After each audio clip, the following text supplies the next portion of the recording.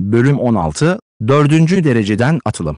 Bara Floret Piton'un cesedinin önünde duran küçük mor maymun, atlayıp Piton'un kafasının üzerine kondu, keskin küçük pençelerinin bir darbesi, küçük sarı bir boncuk çıkararak bir açıklık oluşturdu. Huang Xiaolong minik sarı boncuğu gördüğünde gözleri şaşkınlıkla büyüdü. Canavar çekirdeği mi? Genel olarak, orta seviye kötü bir canavarın bir canavar çekirdeğini yoğunlaştırma olasılığı binde birdir. Yalnızca 7. sınıftaki kötü bir canavar bir canavar çekirdeğini %100 başarı oranıyla yoğunlaştırabilir. Şaşırtıcı bir şekilde, bunda bir canavar çekirdeği var 4. sınıf Barafloret Biton. 4. sınıf bir canavar çekirdeği, eğer dışarıda satılırsa, en azından 2 ila 300 altına kadar çıkabilir. Bu sırada küçük mor maymun pitonun karnının yanında duruyordu, iki küçük el aşağı kayarak bir açıklık oluşturdu, küçük parmaklar bir kez daha kazdı ve iki baş parmak büyüklüğünde iğrenç görünen bir şeyi çıkardı. Yılan safrası. Huang Xiaolong'un gözleri parladı, bunun dördüncü sınıf bir barafloret pitonun safrasının mükemmel bir besin olduğunu düşünerek parladı, onu yutmak sadece kişinin savaş QI ekimini geliştirmekle kalmaz, aynı zamanda vücudu da güçlendirir. Yılanın safrasını çıkardıktan sonra, mor yutucu ruh maymunu arsız bir sırıtışla onu Huang Xiaolong'a verdi, sonra o ağzını açtı ve canavarın çekirdeğini yuttu. Onu yedin mi? Huang Xiaolong şok oldu. Kötü bir canavarın canavar çekirdeği, kendi elementiyle birlikte yoğunlaşmıştır, ancak bu yoğunlaşmış element saf değildir. Sadece diğer iksirlerle hap haline getirildikten sonra yutulabilir, eğer bir uygulayıcı bir canavar çekirdeğini yutarsa, çekirdek içindeki şiddetli canavar elementi nedeniyle doğrudan patlamadan ölecektir. Ama küçük maymun, canavarın çekirdeğini yuttuktan sonra hala iyi durumda. Küçük maymun gösterisine bakan Huang Xiaolong'un dili tutuluyor. Bir dakika sonra Barafloret Piton'un cesedine bakmak için döndü. Kısa bir süre düşündükten sonra cesedi olduğu gibi bıraktı ve küçük mor maymunla birlikte Huang Klan'ı malikanesine doğru yürüdü. Huang Klan malikanesine geri dönen Huang Xiaolong, gardiyanlardan birine biraz şarap alması talimatını verdi ve içine yılan safrasını karıştırdı ve şarabın tamamını boğazından aşağı yuttu. Şarap göbeğe çarptığında ham bir enerji ortaya çıkar ve yerini hemen vücuduna yayılan sıcak bir akım alır.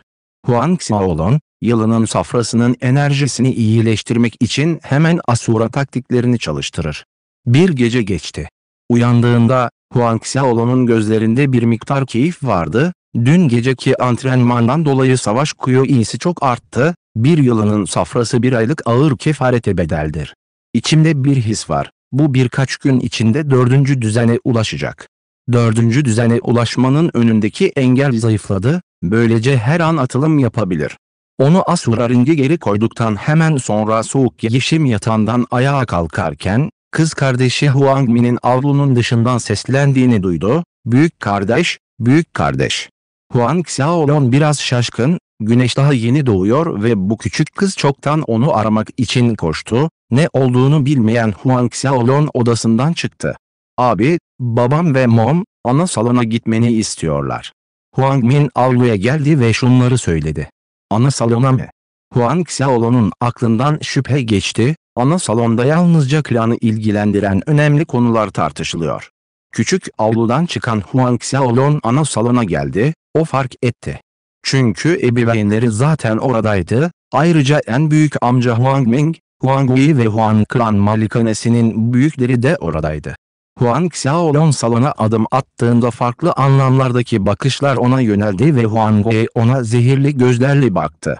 Baba, anne. Huang Xiaolong, Huang Peng ve Suyan'ın yanına geldi ve oturdu. Huang Peng ve Suyan, oğullarına başlarını salladılar, yüzleri gülümsemeyle dolu bir şekilde çocuklarına bakıyordu. Huang Ki ve Limi o anda ana salona girdiler, Limu'nun yanında torunu Lilu da var. Limu ve Lilu'nun da orada olduğunu gören Huang Xiaolong bunun nedenini zaten tahmin edebiliyordu. Beklendiği gibi, büyük baba Huang Ki de koltuğuna oturduktan sonra ana salonda bulunanlara üstünkörü bir bakış attı, gülümsedi ve şöyle dedi, buradaki herkesin herkesi bir konuda bilgilendirmesini rica ettim. Gelecekte Huan Klan malikanesi ve ailesi kayınvalidem olacak. Kayınvalide ol. Ana salonda küçük kargaşalar yaşandı ancak haber daha önce sızdırıldığı için pek de şaşırmadılar.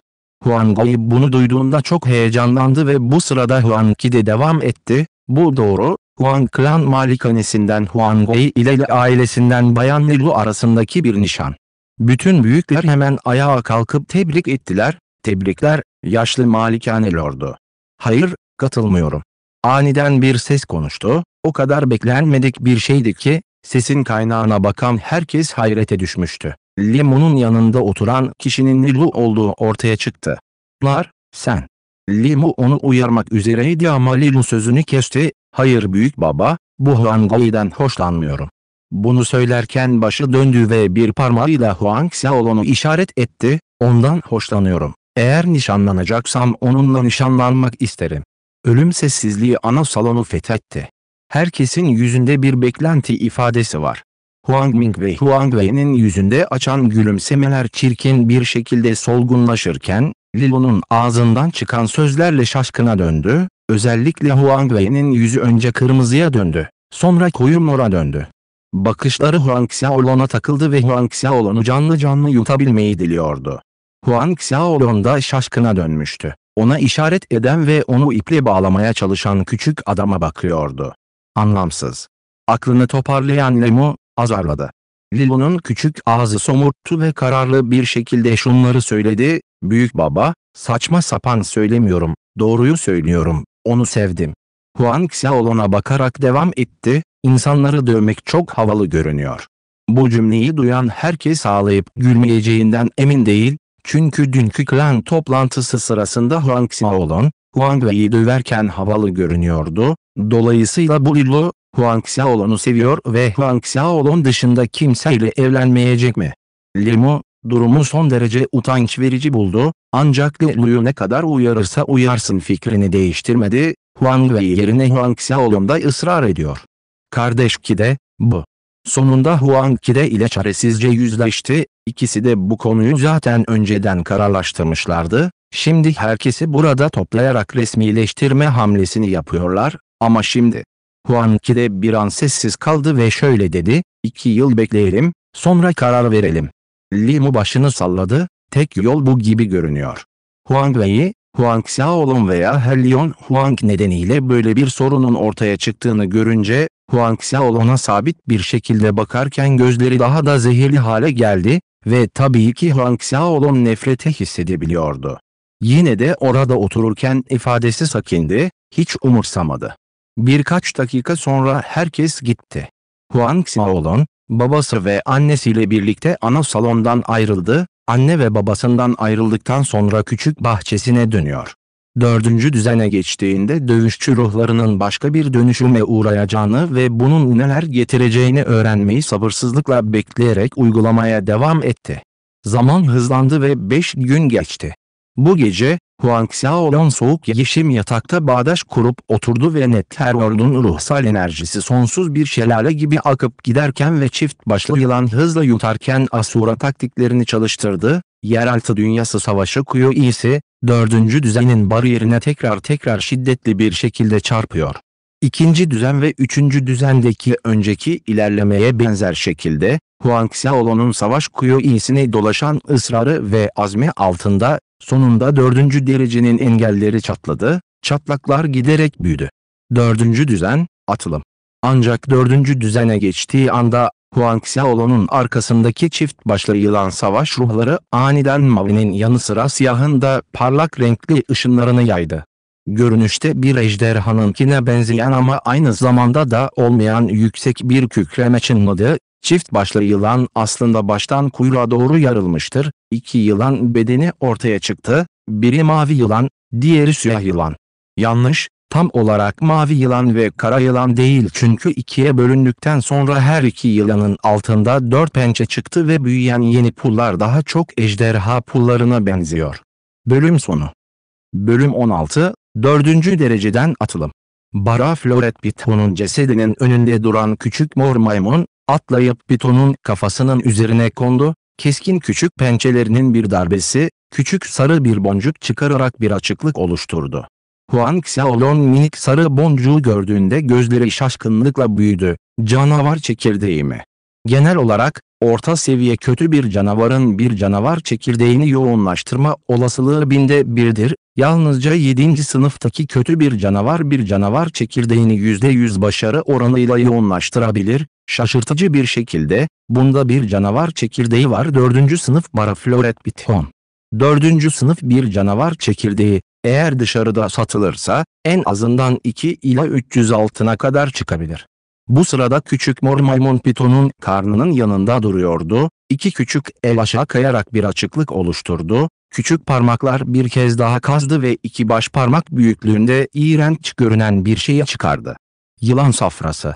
Huang Xiaolong'un gözleri parladı, bunun dördüncü sınıf bir barafloret pitonun safrasının mükemmel bir besin olduğunu düşünerek parladı, onu yutmak sadece kişinin savaş QI ekimini geliştirmekle kalmaz, aynı zamanda vücudu da güçlendirir. Yılanın safrasını çıkardıktan sonra, mor yutucu ruh maymunu arsız bir sırıtışla onu Huang Xiaolong'a verdi, sonra o ağzını açtı ve canavarın çekirdeğini yuttu. Onu yedin mi? Huang Xiaolong şok oldu.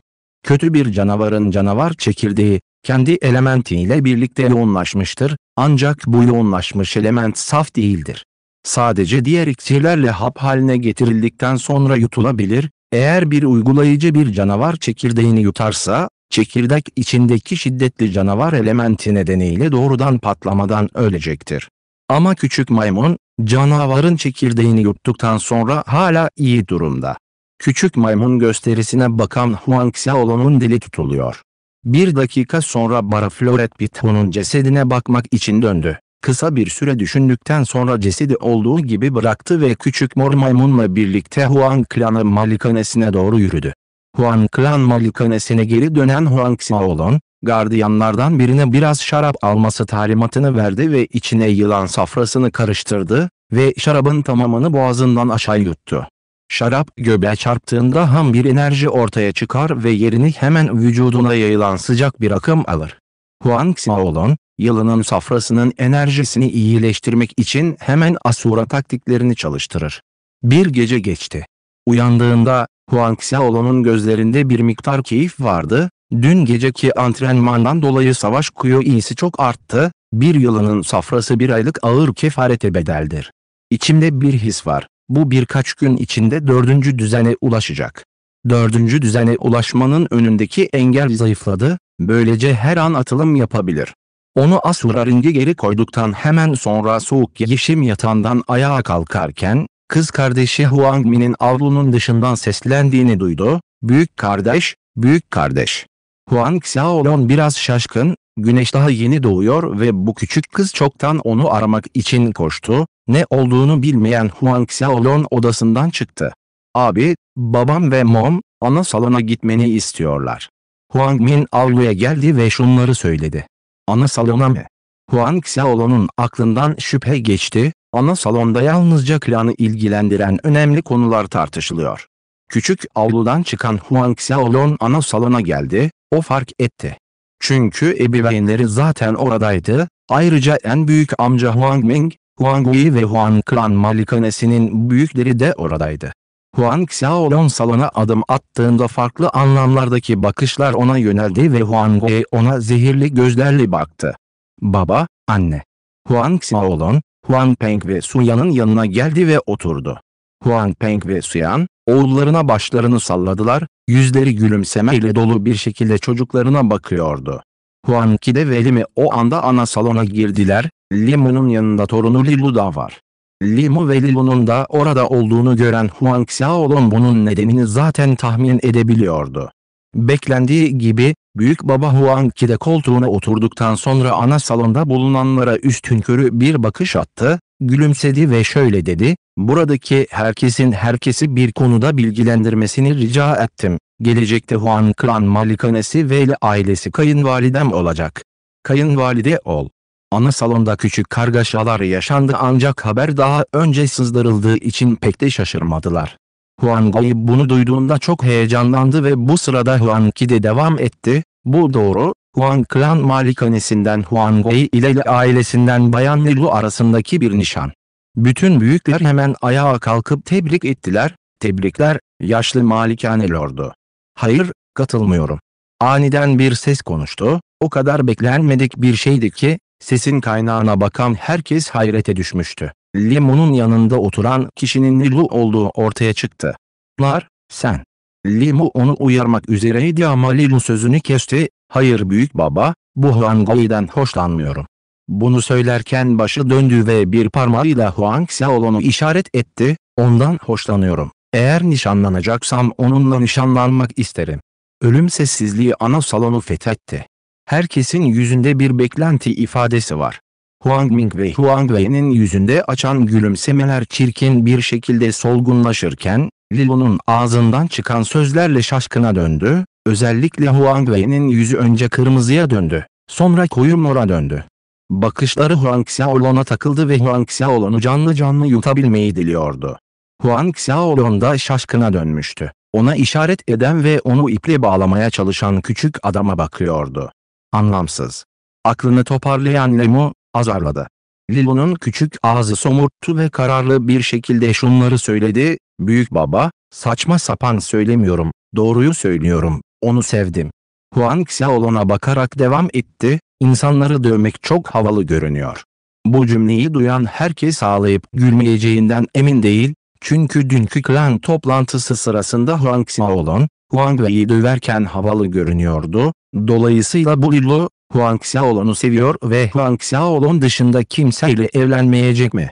Limu, durumu son derece utanç verici buldu, ancak Lilu'yu ne kadar uyarırsa uyarsın fikrini değiştirmedi, Huang Wei yerine Huang Xiaolon'da ısrar ediyor. Kardeş Kide, bu. Sonunda Huang Kide ile çaresizce yüzleşti, ikisi de bu konuyu zaten önceden kararlaştırmışlardı, şimdi herkesi burada toplayarak resmileştirme hamlesini yapıyorlar, ama şimdi. Huang Kide bir an sessiz kaldı ve şöyle dedi, iki yıl bekleyelim, sonra karar verelim. Limu başını salladı, tek yol bu gibi görünüyor. Huang Wei, Huang Xiaolong veya Helion Huang nedeniyle böyle bir sorunun ortaya çıktığını görünce, Huang Xiaolong'a sabit bir şekilde bakarken gözleri daha da zehirli hale geldi ve tabii ki Huang Xiaolong nefrete hissedebiliyordu. Yine de orada otururken ifadesi sakindi, hiç umursamadı. Birkaç dakika sonra herkes gitti. Huang Xiaolong, babası ve annesiyle birlikte ana salondan ayrıldı, anne ve babasından ayrıldıktan sonra küçük bahçesine dönüyor. Dördüncü düzene geçtiğinde dövüşçü ruhlarının başka bir dönüşüme uğrayacağını ve bunun neler getireceğini öğrenmeyi sabırsızlıkla bekleyerek uygulamaya devam etti. Zaman hızlandı ve beş gün geçti. Bu gece, Huang Xiaolong soğuk yeşim yatakta bağdaş kurup oturdu ve Netherworld'un ruhsal enerjisi sonsuz bir şelale gibi akıp giderken ve çift başlı yılan hızla yutarken Asura taktiklerini çalıştırdı, yeraltı dünyası savaşı kuyu iyisi, dördüncü düzenin bariyerine tekrar tekrar şiddetli bir şekilde çarpıyor. İkinci düzen ve üçüncü düzendeki önceki ilerlemeye benzer şekilde, Huang Xiaolong'un savaş kuyu iyisine dolaşan ısrarı ve azmi altında, Sonunda dördüncü derecenin engelleri çatladı, çatlaklar giderek büyüdü. Dördüncü düzen, atılım. Ancak dördüncü düzene geçtiği anda, Huang Xiaolong'un arkasındaki çift başlı yılan savaş ruhları aniden mavinin yanı sıra siyahın da parlak renkli ışınlarını yaydı. Görünüşte bir ejderhanınkine benzeyen ama aynı zamanda da olmayan yüksek bir kükreme çınladı, Çift başlı yılan aslında baştan kuyruğa doğru yarılmıştır. İki yılan bedeni ortaya çıktı. Biri mavi yılan, diğeri siyah yılan. Yanlış, tam olarak mavi yılan ve kara yılan değil çünkü ikiye bölündükten sonra her iki yılanın altında dört pençe çıktı ve büyüyen yeni pullar daha çok ejderha pullarına benziyor. Bölüm sonu Bölüm 18, Savaş Becerisi Eğitimi Huang Ming, Arkasına dönüp uzaklaşan Huang Peng'e bakarken içeriden alay ediyor. Doğal olarak Huang Xiaolon'un gelecek yılın klan toplantısında oğlunu ikinci kez yenebilmesi için inanılmaz bir köpek boku şansıyla karşılaşacağına inanmıyor. Bu nedenle, sözde yüz parçalı savaş QI dansı temelde dumanı kavramaktır. Kesinlikle imkansızdır. Ana salonda yaşlılar gizlice birbirlerine bakıyorlar, hiçbiri konuşmaya cesaret edemiyor. Şu anda Huang Xiaolong avlusunda ve zar zor oturuyor, Huang Peng somurtkan bir ruh hali içinde geri dönüyor. Baba, ne oldu? Huang Xiaolong sordu. Su Yan da ayağa kalkıp Huang Peng'e doğru yürüyor. Oğluna bakan Huang Peng'in bilincini suçluluk duygusu kemiriyor, doğruca ana salona doğru yürüdü ve tek kelime etmeden oturdu, başı öne eğilir ama yüreğindeki öfke dinmek yerine daha da alevlenir. Bu apaçık bir zorbalıktır. Açık zorbalık. Büyük kardeş Huang Ming'in alayını ve babasının Huang Wei'ye olan kayırmasını hatırlayarak, Huang Peng öfkeli bir çığlık atmaktan kendini alamadı, bir avuç içi yanındaki sandalyeye çarpıp onu parçalara ayırdı. Suyan, Huang Peng'in sandalyeyi parçalama hareketinden korktu. Peng'e, sorun ne? Ne oldu? Suyan endişeyle sordu. Başını kaldıran Huang Peng, karısı Suyan'a bakıyor ve ardından oğlu kalbinin içinde iç çekiyor.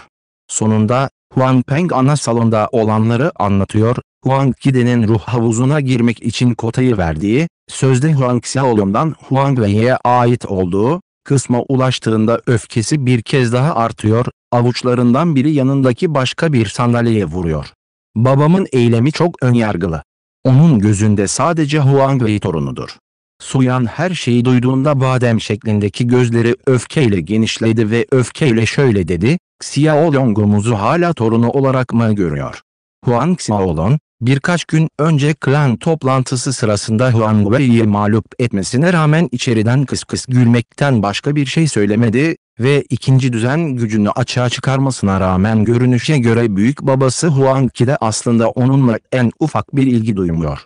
Muhtemelen büyük baba Huang Kide'nin gözünde, ikinci derece savaşçıya ilerleyebilmesi büyük ölçüde şans eseriydi ve Huang Wei'nin başarısıyla karşılaştırılamaz. Wei Zhou Guang, Xiaolong'umuzu küçümsemeye cüret ediyor, hatta Xiaolong'umuzun ruh havuzunun gücünü boşa harcayacağını söylemeye cüret ediyorsa, içeri girecek olan odur. Suyan hararetle devam ediyor, bu köpeğe benzeyen köle, Huang Ming'in onu desteklemesi olmasaydı, bu tür sözler söylemeye cesaret edemezdi. Zhou Guang, Huang klan malikanesinin bir yaşlısı olmasına rağmen ayrıcalıklı statüsü ve otoritesi, seçkin muhafızlarla karşılaştırıldığında sadece biraz daha yüksektir, günün sonunda o hala bir köle olarak kabul edilir. Xiaolong, babamı affet. Oğluna baktığında sesi alçalıyor ve suçluluk duygusuyla doluyor. Bütün bunlar babamın eşe yaramaz olmasından kaynaklanıyor, sadece bu yılki yeri ruh havuzuna girmek için değil, aynı zamanda onu Huang Wei'ye kaptırmak için de kaybettim. Huang Xiaolong bunu duyduğunda duygusuzca gülümsedi, baba, anne, endişelenme, gelecek yılki klan toplantısında ona sadece babası onu tanıyamayacak kadar vurmayacağım. Aynı zamanda onu büyük babam bile tanıyamayacak hale gelinceye kadar vuracağım. Büyük baba Huang Ki de, sevgili torunu Huang Wei'ye bu kadar değer verdiğine göre, o zaman bu 7 sınıf dövüş ruhu torunu, büyük babasına köpek boku şansının her zamankinden daha iyi, daha iyi, daha güçlü hale geldiğini gösterecek. Sadece gelecek yılın klan toplantısı sırasında değil, gelecek yılın her toplantısında Huang Wei'yi süper dik kafalıya yenileyecek. Huang Peng ve Suyan, oğullarının onları rahatlatmaya çalıştığını, endişelenmemelerini istediğini düşünüyorlardı, Huang Peng'in suçluluk duygusu artıyor. Oğullarının yalnızca 7. sınıf dövüş ruhu yeteneği olduğu fikri altında, onunla Huang Wei arasındaki fark zaman geçtikçe daha da artacak, Huang Wei bir yıl içinde 3. dereceye, belki daha da yükseğe geçebilirdi. Ancak oğulları yalnızca 7. derece dövüş ruhlarına sahip olduğundan, ikinci dereceden üçüncü dereceye geçmek için en az iki yıla ihtiyaç duyacaklardı. Gelecek yılın klan toplantısında oğulları Huang Wei'yi yenebilecek mi? Oğlu başka bir üç parça yang meyvesi veya benzeri iksiri yutacak kadar şanslı değilse, aksi halde. Huang Peng iç çeker, oğlu yang meyvesine benzer iksirlerle ikinci kez karşılaşacak kadar şanslı olabilir mi? Huang Xiaolong, ebeveynlerinin yüz ifadelerine bakarak, gelecek yıl Huang Wei'yi yeneceği konusunda ebeveynlerinin iyimser olmadığını tahmin edebilir. Baba, anne, bir süreliğine arka dağlarda antrenman yapmayı planlıyorum. Huang Xiaolong bir süre düşündükten sonra konuştu. Bu düzenleme onun beden dönüşümü kutsal yazısını rahatlıkla uygulamasına olanak tanır, sürekli ileri geri koşmak aslında bir rahatsızlıktır. Üstelik Huang Xiaolong şimdilik Asura taktiklerinin açığa çıkmasını istemiyor. Hayır. Sözcükler Huang Xiaolon'un dudaklarından çıktığı anda Suyan, düşünmeye bile gerek kalmadan güçlü bir şekilde itiraz etti.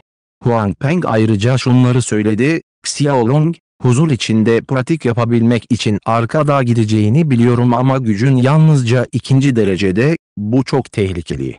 Huang Xiaolong, ebeveynlerinin sonuçta onların gözünde itiraz edeceğini bekliyordu, o sadece 7 yaşında bir çocuk, hiçbir ebeveyn 7 yaşındaki bir çocuğunun sırf eğitim için evinin güvenli ortamından ayrılmasına isteyerek izin vermez. Baba, anne, ben sadece arkadan dış kenarında olacağım. Daha derinlere girmediğim sürece tehlike yok. Huang Xiaolong şunları söyledi, endişelenmenize gerek yok. Ancak Huang Xiaolong'un onları ikna etmek için söylediklerine rağmen Huang Peng ve Suyan bunu şiddetle reddediyor. Ya gelecek yılki toplantıda Huang Wei'yi yenebilirsem? Kendini güçsüz hisseden Huang Xiaolong tavrını değiştirdi ve sordu. Huang Wei'yi yenmek mi? İkisi de Huang Xiaolong'a baktı. Gelecek yılın itman etkinliğinde Huang Wei'yi yenebilirsen, Dan arka tarafında antrenman yapmana izin vereceğim. Huang Peng, bir süre düşündükten sonra nihayet ciddi bir sesle kabul etti, gelecek yıl Huang Wei'yi yendikten sonra bunu tekrar tartışabiliriz. Tamam aşkım.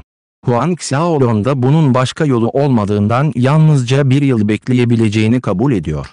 Ve bu sırada Kuzey Avlu'da, büyük babasının duyuruyu yaptığı durumu anlatan babasını dinlerken, Huang Wei'nin yüzü parlak bir gülümsemeye dönüştü. Büyük baba gerçekten bilgedir, o çocuğun ruh havuzuna girmesine izin verilirse bunun yalnızca israfa yol açacağını biliyor.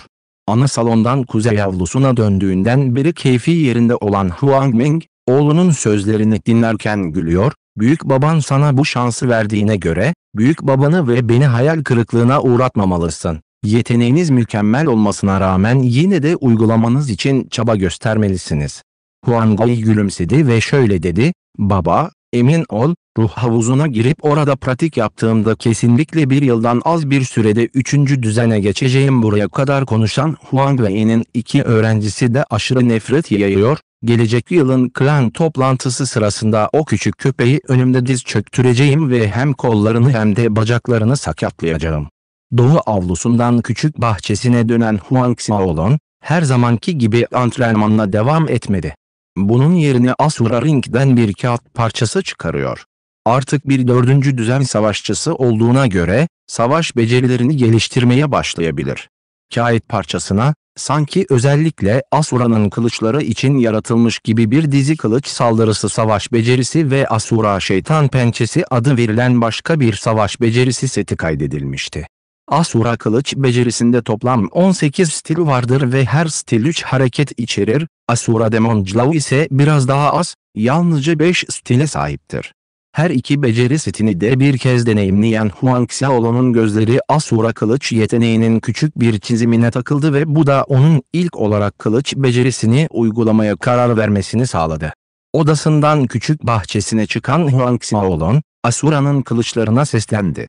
İlk saldırının hareketini, ruh halini ve vücuttaki kuyu dolaşımını gösteren çizimi hatırlatarak, kanatların bir dalgasıyla, düzinelerce bıçak görüntüsü birdenbire ortaya çıkıyor, dönüyor ve küçük avlunun çevresinde zikzaklar halinde iki küçük siklon halinde toplanıyor.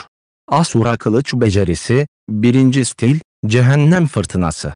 Bölüm sonu. Bölüm 19, beden dönüşümü kutsal yazısı, dördüncü aşama.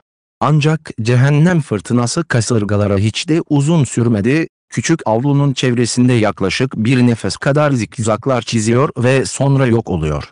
Bundan sonra Huang Xiaolong, bıçakları bir daha sallamadı, ancak cehennem fırtınası oluştuğunda hareketleri ve nasıl hissettiğini yeniden canlandırdı. Orada dururken, zihninin içinde yollarına çıkan her şeyi yutan sonsuz bir girdap gibi dönen kasırgalar geçit töreni vardı, ancak ara sıra olan hareket gözleri tarafından açıkça görülüyor. Yarım saat sonra Huang Xiaolong aniden hareket etti, elleri bıçakları kullanıyor. Bu kez, havada sabit bir dönüşle, birdenbire 18 adet bıçak ışını ortaya çıktı, hava akımları iki yoğun siklon oluşturarak dönerek önceki siklonların boyutunu iki katına çıkardı. Huang Xiaolong bir kez daha hareketsiz duruyor, cehennem fırtınasının oluştuğu hissi, girdap şekline, önceden belirlenmiş bir yörüngeye göre hareket ederken nasıl döndüğünü ve son olarak da yönlerini hatırlıyor. Yarım saat sonra Huang Xiaolong bir kez daha Asura'nın kılıçlarını salladı. Ve böylece daire tekrar tekrar tekrarlanıyor. Her hamlesinden sonra, bir heykel gibi olduğu yerde hareketsiz duruyor, hareketin özünü anlıyor ve tekrar saldırıyor. Sabahtan öğlene, akşama ve güneşin son ışınları kaybolmak üzere olana kadar, Huang Xiaolong'un elindeki bıçaklar aniden ortaya çıkıyor. İki farklı cehennem fırtınası sürekli olarak dönüyor, rüzgarın ıslıkları, cehennemden çıkan kederli sızlanmalara benziyor. Dinlerken kalplerin çarpmasına neden olur. Bunun dışında mevcut cehennem fırtınası 5 nefeslik süre boyunca dayanabilir. Huang Xiaolong, cehennem fırtınasından gelen hafif cehennem çığlıklarını dinlerken rahat bir nefes alıyor, kağıt parçasına göre, cehennem fırtınası hafif cehennem çığlıkları attığında, bu küçük bir tamamlama olarak kabul ediliyor. Asura kapılarının egemen kurucusu Ren Okuang, Huang Xiaolong'un Asura kılıç yeteneğinin birinci tarzı, cehennem fırtınasında küçük tamamlamaya ulaşmak için yalnızca bir günlük pratik yaptığını bilseydi, dilsiz kalırdı. Ren Okuang'ın zamanında, kazara bu özel uygulama yasasını ele geçirdiğinde, cehennemden çığlıklar atabilmesi için Tempest of Hell'i uygulaması iki aydan fazla sürdü. Huang Xiaolong yalnızca bir gün kullandı. Savaş becerileri eğitimi, bireyin yeteneğine ve içgörüsüne dayandığı için dövüş ruhlarıyla ilgisi yoktur. Huang Xiaolong, önceki yaşamında yüzyıldır nadir görülen bir dövüş sanatları dahisiydi. Savaş becerileri kavramı, dövüş becerilerine benzer. Bu nedenle, Huang Xiaolong'un birinci stil Asura kılıç becerisinde küçük bir tamamlamayı başarmak için sadece bir günlük pratik yapması düşünülemez bir şey değil. Gecenin çökmesini izleyen Huang Xiaolong'un eğitimini durdurur. Odasına giriyor ve soğuk yeşim yatağında bağdaş kurarak oturuyor ve savaş kuyu iyisini uygulamak için Asura Tekniksin egzersiz yasasını çalıştırıyor. Dördüncü düzene ilerlediğinden beri, çift başlı yılan dövüşçü ruhları sadece üstün yetenekli ikiz dövüşçü ruhlarına dönüşmekle kalmadı, fiziksel olarak boyutları da bir kademe arttı. Huang Xiaolong'un dövüş ruhları yeni uyandığı sırada, çift başlı yılan dövüş ruhları yalnızca yarım metre uzunluğundaydı. Siyah ve mavi ejderha, Huang Xiaolong'un arkasında duruyor, ağzı ardına kadar açık, havadan aşağı akan ölüler diyarının ruhsal aurasını durmadan yutuyor. Dördüncü düzene geçişten sonra cehennem dünyasının ruhsal aurası daha karanlık, daha kalın ve daha saf hale geldi. Siyah ve mavi ejderhanın bedenlerinden hafifçe bir ejderhanın prestiji yayar. Zaman çok çabuk geçiyor ve bir ay çok çabuk geçiyor. Günler yerini aya bırakıyor, her gün aynı rutin. Huang Xiaolong, Asura taktikleri ve beden metamorfozu kutsal yazıları uygulamasının yanı sıra, her sabah küçük bahçede Asura kılıç becerisini uygulayacak. Bir ay sonra, Huang Xiaolong Asura'nın kılıçları ile saldırdığında, bıçak ışınları ilk 18'den 40'a ulaştı ve Tempest of Hell tarafından üretilen kasırgaların boyutu iki katından fazla arttı.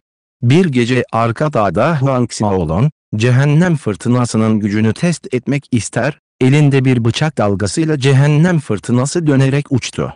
Cehennem fırtınası dönerken, 30 metrelik alandaki her ağaç kesildi ve bu kesilen ağaçların gövdeleri, sanki biri onları kılıçla yüz defadan fazla kesmiş gibi sayısız kesik izleriyle kaplandı. Yerdeki ağaçlara bakan Huang Xiaolong memnuniyetle başını salladı, Asura kılıç yeteneğinin saldırı gücü oldukça yüksektir ve önceki hayattaki ailesinin kılıç becerisi olan Exjate şeytan kılıcından çok daha güçlüdür. Fakat bu hızla bu hamleye ulaşmak için Tempest of Hell'in büyük ölçüde tamamlanması hala 6 aylık bir zamana ihtiyaç duyuyor. Huang Xiaolong sessizce düşünüyor. Her ne kadar cehennem fırtınasının saldırısının gücü bir aylık ağır kefaret sonrasında zaten oldukça yüksek olsa da, o kağıt parçasının tanımı ile karşılaştırıldığında gücü hala büyük bir tamamlanmadan çok uzak. Bu cehennem fırtınası saldırısı, Huang Xiaolong'un iki kasırganın kendi iradesine göre yön değiştirebilmesiyle büyük bir tamamlamaya ulaştığında gerçekleşecek. Huang Xiaolong, dan arka tarafında bir süre pratik yaptıktan sonra yavaş yavaş ruh haline alışmaya başladı.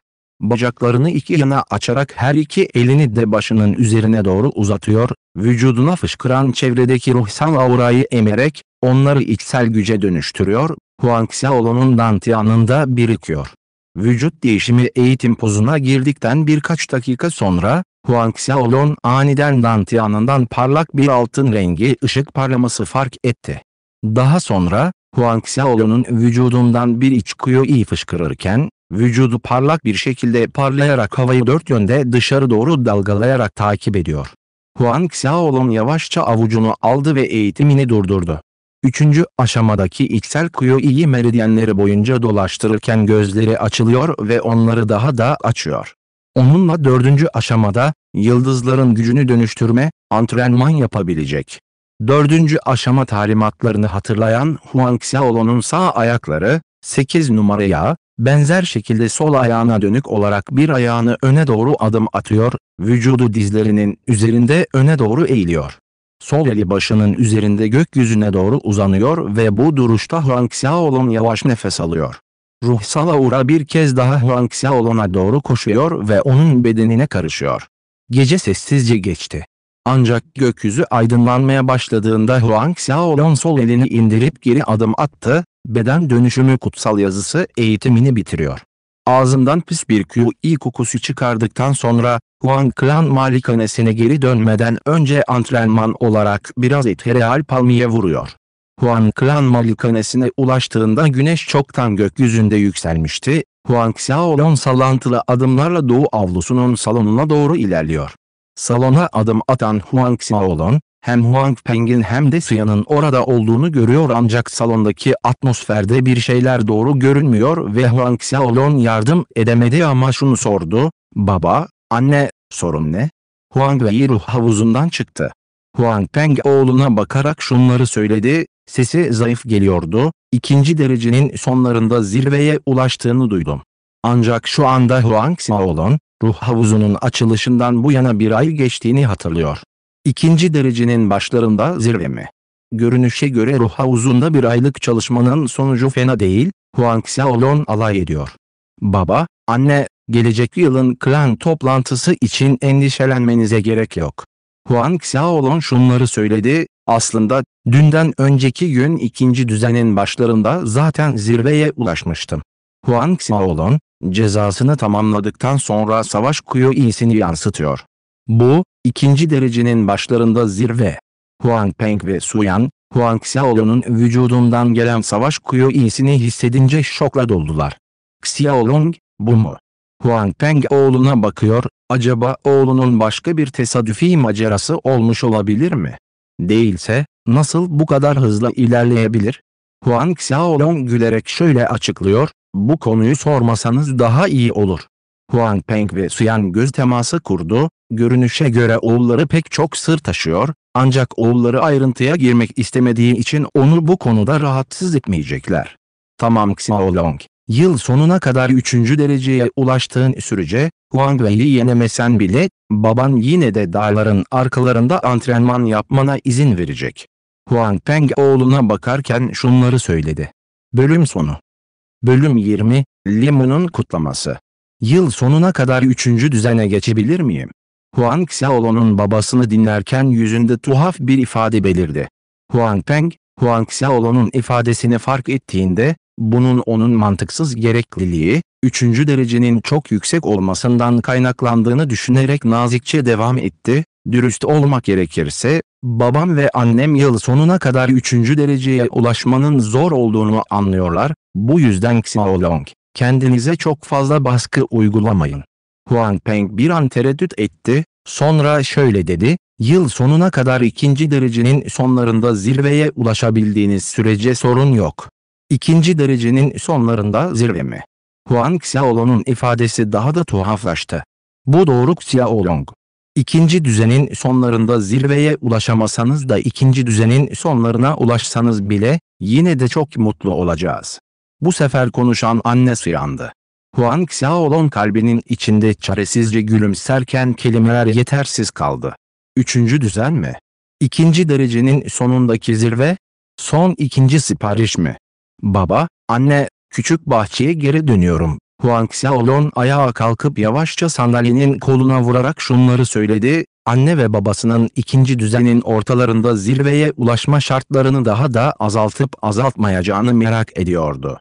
Eğer iş o noktaya gelirse, direnemeyebilir ve dördüncü düzenin başındaki zirvedeki mevcut gücünü açığa çıkaramayabilir. Ah, Xiaolong. Huang Xiaolong salondan ayrılmak üzereyken Huang Peng bir şey düşündü ve şöyle dedi, birkaç gün sonra eski Patrikli'nin 8. doğum günü kutlaması var ve Huang klanı malikanemizi kutlama partisine davet etti. O küçük kız seni davet etmesi için ona baskı yapıp duruyordu, orada olman konusunda ısrar ediyordu. Gitmem konusunda ısrar mı ediyor? Huang Xiaolong şaşkınlık hissetti. O küçük kız ondan pek hoşlanmıyor, değil mi? Sırf yıllık klan toplantısı sırasında Huang Wei'yi berbat bir şekilde dövdüğünde gerçekten harika göründüğü için mi? Baba, anne, gidemez miyim Huang Xiaolong zayıf bir şekilde sordu. Ne dedin? Suya'nın gözleri ona dik dik baktı. Huang Xiaolong depresyondaydı, görünüşe göre partiye gitmekten kaçınamıyor. Suyan, oğlunun somurtkan yüzünü görünce güldü ve onunla dalga geçti, seni velet, homurdanma. Lilo, eski Patrikli'nin göz bebeği, 9. derece dövüş ruhuna sahip ve büyüyünce kesinlikle güzel bir genç bayan olacak. Huang Xiaolong daha da suskun kaldı, şunda ve bunda ne var, eğer annesi oğlunun olağanüstü bir yeteneğe sahip olduğunu ve aynı zamanda da üstün bir dövüş yeteneğine sahip olduğunu bilseydi, muhtemelen böyle düşünmezdi. O anda Huang Peng de katıldı, annen haklı.